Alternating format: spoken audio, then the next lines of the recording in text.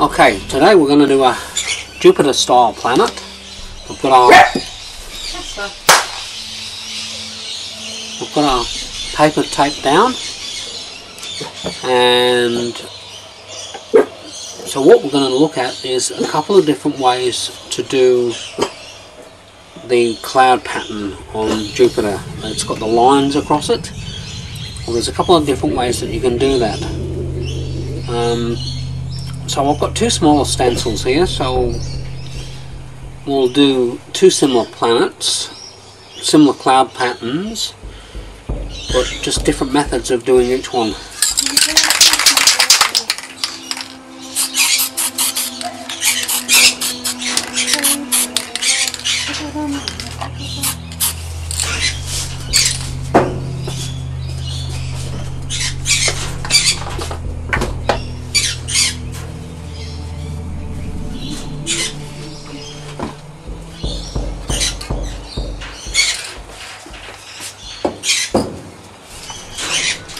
Take our stencils off. And we have our silhouette for the two different parts types of planet. So we're looking at yellows, oranges um, but I mean you can use any any colours you want, any combination of colours.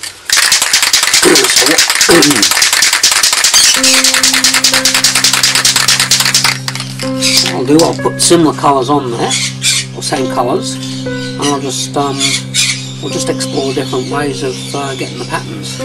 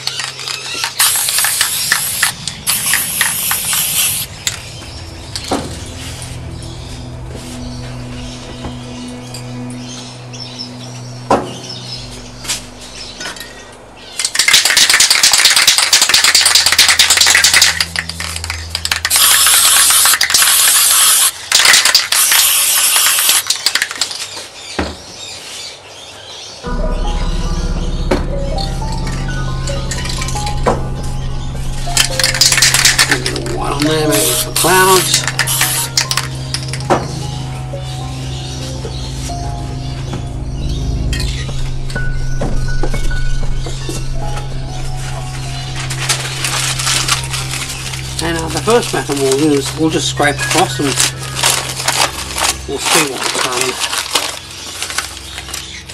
do that. So you get that pattern and then if you want you can go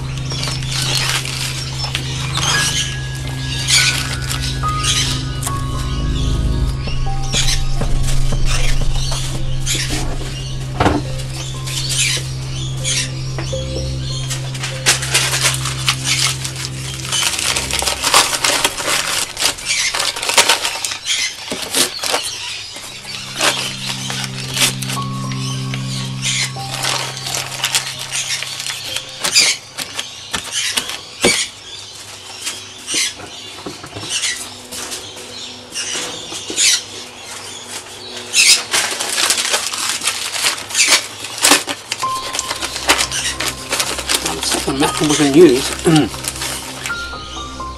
so we get our paper and we turn it. Remember you're trying to you're trying to project a 3D object, a sphere. So uh, whereas this is pretty neat, if you get your bit of paper and then pivot at one point and then just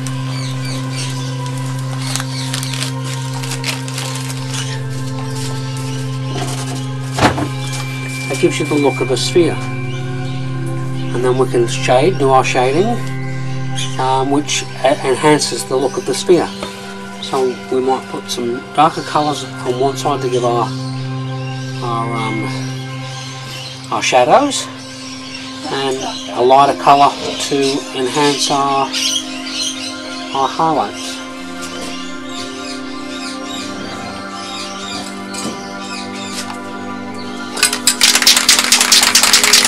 Just use a little bit of black.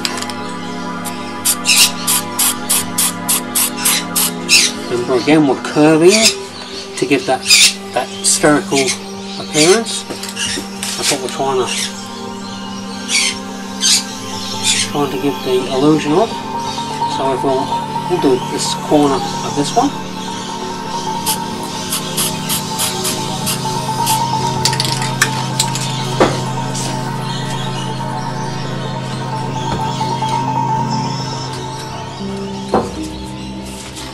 Okay, we'll let that dry for a few minutes and then we'll put our templates back on and then we'll uh, we'll paint the sky and we'll see what they look like. So trust a little timer.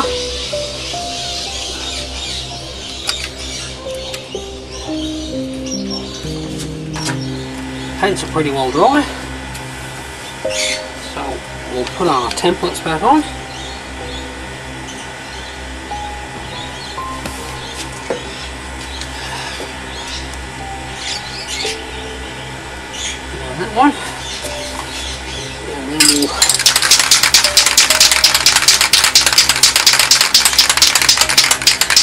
Do our space scene. Might even put a, a nebula or something through here and maybe put a star in here. We'll have a look.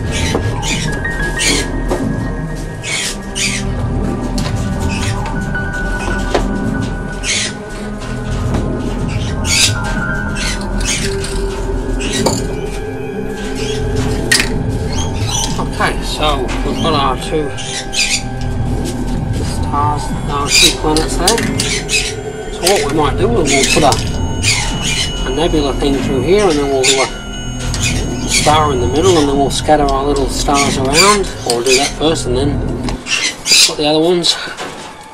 So what I normally do is I'll pick brighter, bright colours or um, some of these um, fluorescent colours uh, and just you just quickly run through it. So let's turn that to one side. Now what I'm going to do is I'm just going to go straight across like that. And do that with each one of the colours.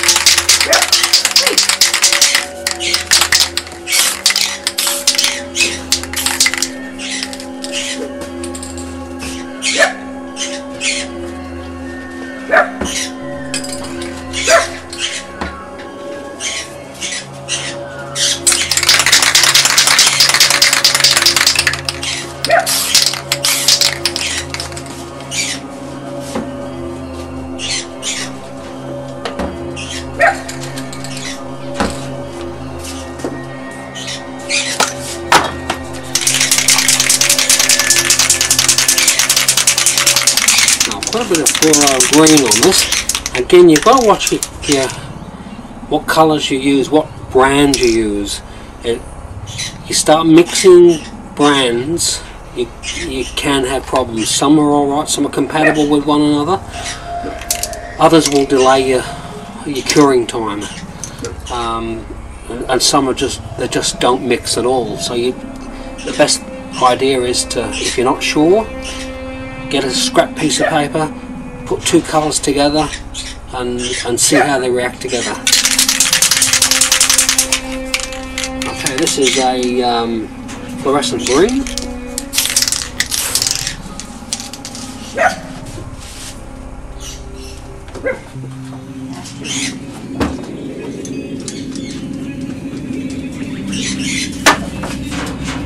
And basically you just do this until you've got something that you're quite happy with. As many colours on there.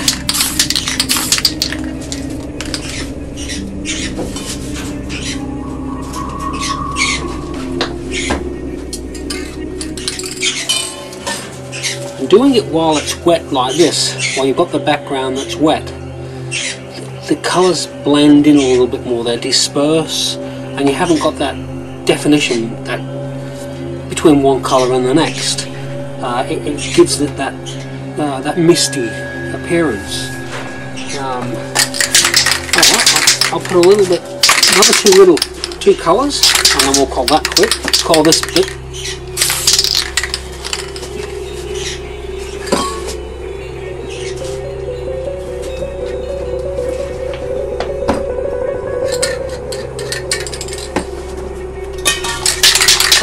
can go mad with this, but it's all part of the learning curve. It's all fun. It's it's, it's your painting. Do what you want. You know. It's called artistic license. You have the license to do what the hell you want to do with it. So have fun. This is a bit of red.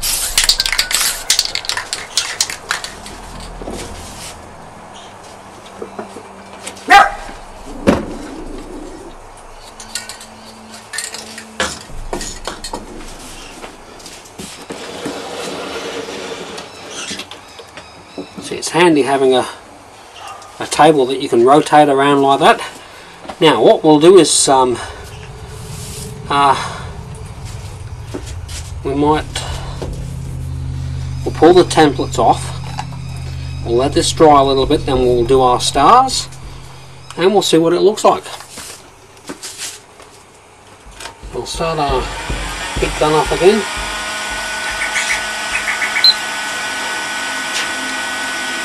Start a little toner again. Pull them off. You see the difference between the two. When we just brought that straight across, and this one, we arced it. Anyway, we'll come back to this and give it 20 minutes, half an hour, and we'll come back It's pretty well dry so what we're going to do now is put our templates back on We'll do our stars. Might even put a star around here somewhere. A sun. Um, and we'll have a look what that looks like. So put our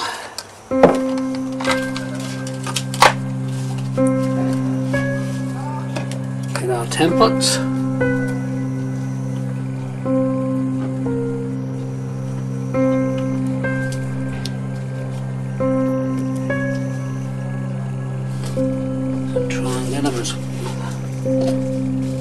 Close as you can. As I said, the problem with if you leave these on there while it's wet, your templates will stick to your your, your painting. You can use clear. If a if a part of it sticks, you can spray a bit of clear on there, and you may rescue it. But then again, you might not. So I think it's probably better off in the long run if you just take it off and then because all we're going to do is put some we're going to put the stars down. So we get our brush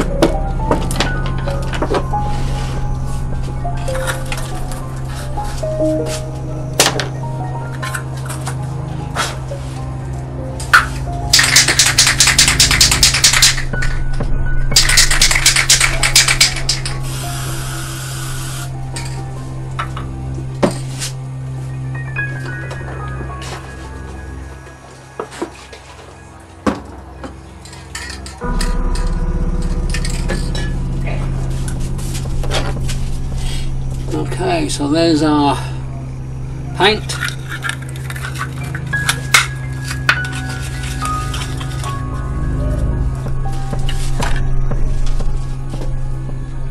So a bit of a flick.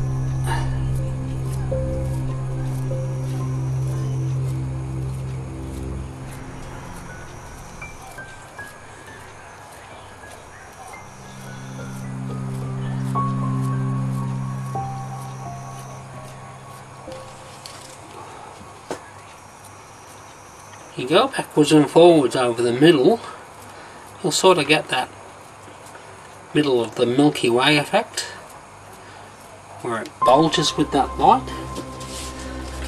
And again, you can do this with as many colours as you want.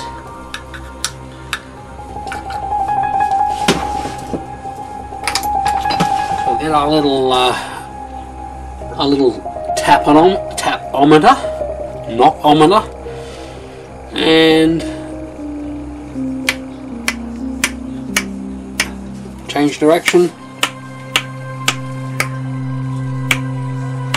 Just get a nice coverage without being too dense.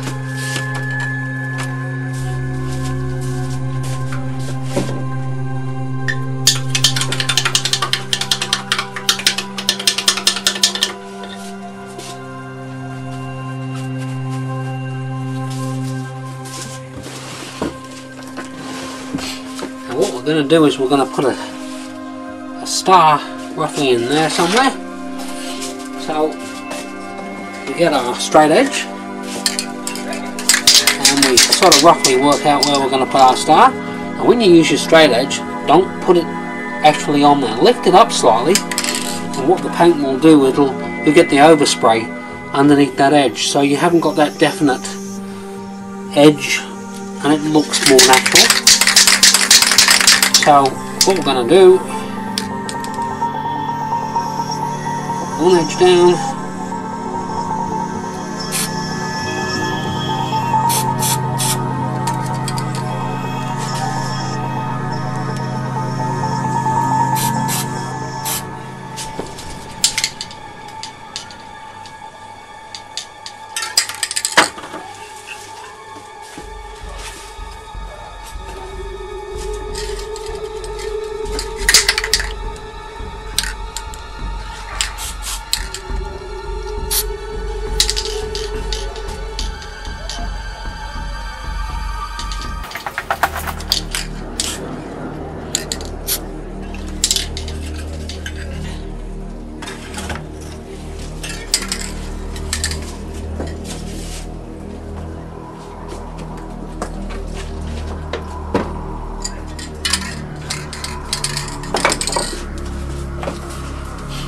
Okay, so that's going to give the appearance that this star is closer to these two planets. You've got the nebula at the back, and you've got all these stars in the distance. So, I'm pretty pleased with that. So what we'll do is, we'll take that off, take that off, and I reckon it looks pretty neat. So what we'll do is we'll get our clear, spray across, up and down, and we'll sign it, and finish painting. Our mask.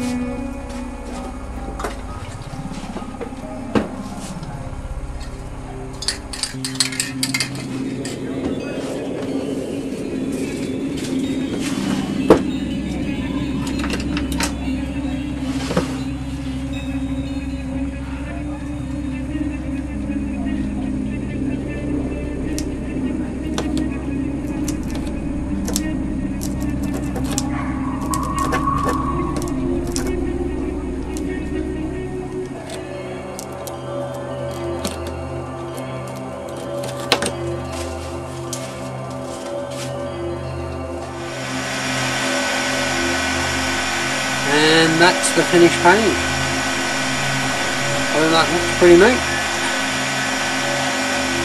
And you can do this too. Cheers. Happy painting.